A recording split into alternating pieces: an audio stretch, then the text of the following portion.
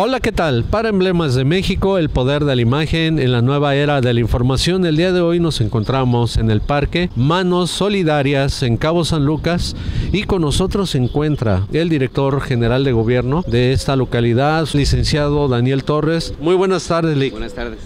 Mucho gusto. Me da mucho gusto que nos hayas permitido esta entrevista para nuestro medio de comunicación. Venimos de la Ciudad de México. Ahora que nos encontramos en Cabo San Lucas, un lugar donde además que es centro turístico, también se trabaja en lo social, el gobierno trabajando para toda la población y localidad de este lugar. Platícanos este operativo de bienestar que se realizó el día de hoy en este lugar, por favor. Sí, mira, estamos aquí en, en este parque. Es una de las zonas de Los Cabos y de Cabo San Lucas particularmente más antiguas, donde se asentaron de las primeras colonias aquí en Cabo San Lucas, muy conocido lugar, Manos Solidarias. Y aquí durante hace cuatro años, durante este tiempo, hemos hecho este tipo de eventos que es cada dos meses entregar una pensión a nuestros adultos mayores. El programa se llama Pensión para el Bienestar de Adultos Mayores. Inició hace cuatro años en este gobierno con una cantidad que se les entregaba de 1.160 pesos bimestrales. Al día de hoy se les está entregando a nuestros adultos mayores 4.800 pesos es decir, ha aumentado casi cinco veces más desde hace cuatro años a la fecha y plantea el presidente de la República que cuando se termine este gobierno en el 2024 la pensión quede en 6 mil pesos bimestrales. Lo importante también va a ser que se va a acabar con los intermediarios. Precisamente este evento es para entregarles a los adultos mayores una tarjeta del Banco de Bienestar, que hay un banco aquí en Cabo San Lucas, ahí atrás del Hospital General de Cabo San Lucas, donde los adultos mayores con su tarjeta cada dos meses van a recibir un depósito en efectivo directo desde la tesorería de la federación sin intermediarios y ellos van a poder ir a cobrar el día que ellos les corresponda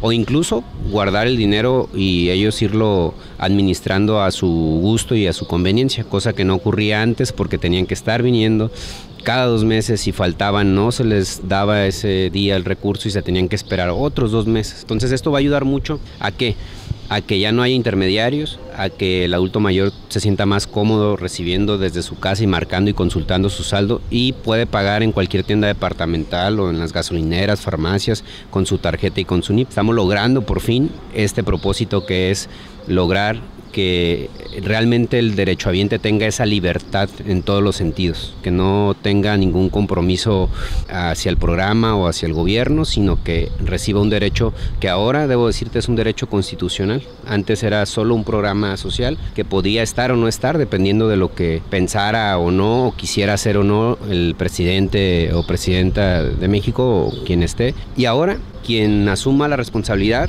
siguiente después del presidente Andrés Manuel López Obrador se encontrará con que en la Constitución dice que la pensión debe ser progresiva, debe ir aumentando cada año y deberá cumplir con ese propósito. Esos son de los avances más importantes en relación a ese programa social que hoy es un derecho constitucional.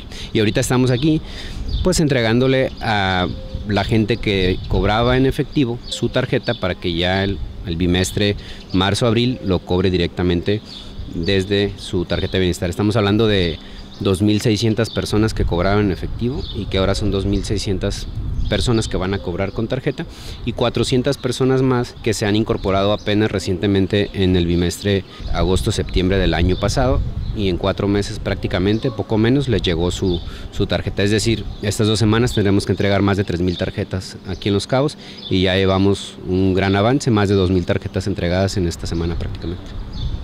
Sin duda alguna, un gran esfuerzo que está realizando el gobierno a nivel nacional, desde el presidente de la República, licenciado Andrés Manuel López Obrador, y que también en esta localidad de Los Cabos se está trabajando con los adultos mayores.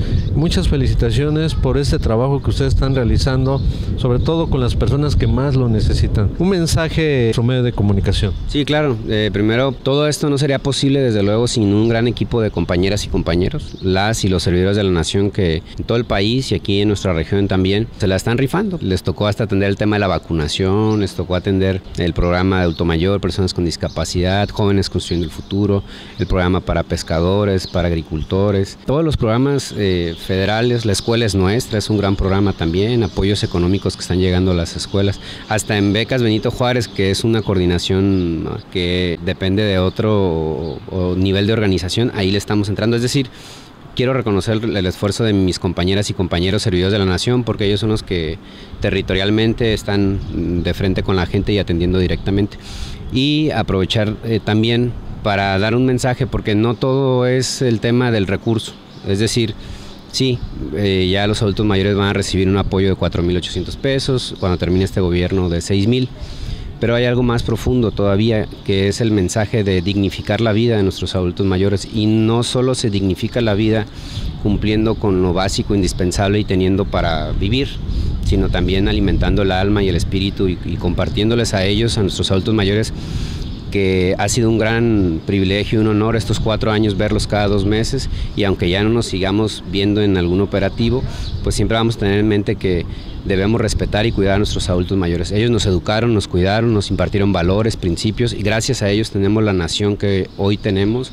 Gracias a ellos se vive este profundo cambio en el país y necesitamos seguir su ejemplo. Un abrazo a todas y todos nuestros adultos mayores y muchas gracias por la entrevista. Licenciado, y antes para culminar esta entrevista, mira, yo te quiero obsequiar un libro, un trabajo, una investigación que un servidor ha realizado como escritor, porque también este trabajo que realizo a través de mi canal de Emblemas de México, pero también hacemos investigaciones, esto te lo voy a obsequiar. Mira, es un libro jurídico, se llama Comprobando y demostrando la inocencia y honorabilidad del apóstol de Jesucristo Nazón Joaquín García. Es un mexicano que se encuentra detenido en los Estados Unidos pero que han violentado todas sus garantías, han violentado sus derechos. Y yo te lo quiero obsequiar para que también conozcas tanto el caso, pero también el trabajo que nuestro medio de comunicación realiza en todo tipo de investigaciones. Te agradecemos infinitamente la atención. Al contrario, muchas gracias. Muchísimas, Muchísimas gracias. Informó para Emblemas de México Daniel Cruz Benítez. Nos vemos en el siguiente reportaje. Muchas gracias.